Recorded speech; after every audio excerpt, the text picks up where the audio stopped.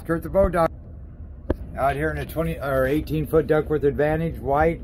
Uh, beautiful boat, got a USB ports over there, 12 volt power point right here. Uh, your everything did work back at the shop except for the washdown had no power going to it. It had a the fuse block looks okay, but maybe that's just my eyes. But then when I got out here, none of these switches work. None of the panel switches or the fuel gauge or the depth finder comes on. So that's either that bad main fuse back there or there's a short somewhere. And also they didn't hook up the speedo tube, so it's just hanging there. They needed to pinch it off or when you get going, it's gonna get water all over your leg. So they need to get that fixed. Keys are in the glove box. So a 13 by 17 pitch prop is perfect for this boat. It does about 37, 38 constant uh, up to 42, uh, 41, 42 depending on current. It is an incoming, about three miles an hour. The 99 did about five, five to eight. So you're looking about three mile an hour current. Like I say, it is incoming, 11 by 7 pitch prop. That's power tilt on that electric start tiller handle. Uh, no leaks in the boat, very stable.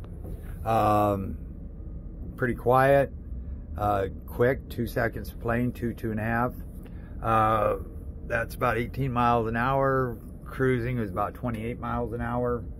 Uh, yeah, it will hit a little bit, you know, when it gets rougher out, but what boat don't? There's very few that don't.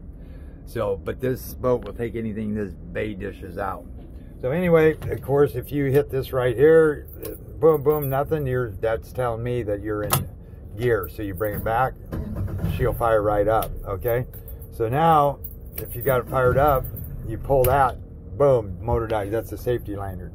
So now when you, go, you hear that beep, that's first sign that that safety lanyard it won't start. Is the safety lanyard ain't in.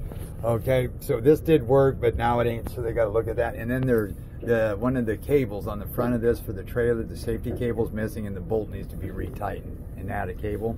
And we got a lot of flies today. So anyway, we'll give this a whirl. So we're gonna put it in gear. We're gonna turn this thing around. And then if you turn this thing all the way down, like this, and it's a little hard to turn to the left and to the right, just trim it up a little bit at this speed, and it's gonna free that up. See, now I can steer it easy. That's all you have to do. So now once you get going, you can trim it down then you can hit it, and it's about two seconds. So I'm going to straighten it up. 1001, 1002. There you go, you're up on top. So then when we're going like this, that's about 18 miles an hour. Start trimming.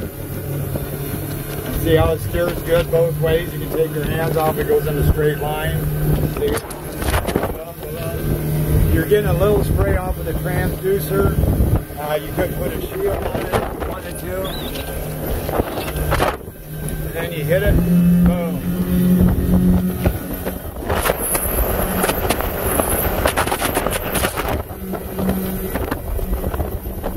Now I probably would put a shield on it. And it goes really nice. So trim her down. And then again, remember to trim it to where you got steering at low speed. See how that steers nice? You just leave it like that, kick that back, turn that the key off over here. Then you go back in here, and of course you got storage under here, storage underneath here, and then up into here. And that's your fish box that drains straight out the. That's that lower uh, hole on the outside of the boat with a through hole. That's your drain for the fish box. And these are towable tops, like I said. Then you can go back here and all you have to do is hit this down, the trim, then bring it back to right here. Just hit the start button, bring it back, put it in gear. This is your friction. Make sure that friction's off. You don't want that over there because then it's tightening it up when you're trying to turn it with the tie bar. This needs to be screwed down